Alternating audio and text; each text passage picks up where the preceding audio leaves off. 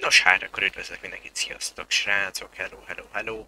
Mint ahogy a címben is láthattátok, a mai nap folyamán 5 órakor kit Napesó TV. Na most mit csináltam, ugye megszavaztátok, vegyük ki az ability kivettem fullba az összeset, nincs ability kit, nincs ability láda, semmi ilyesmi nincs.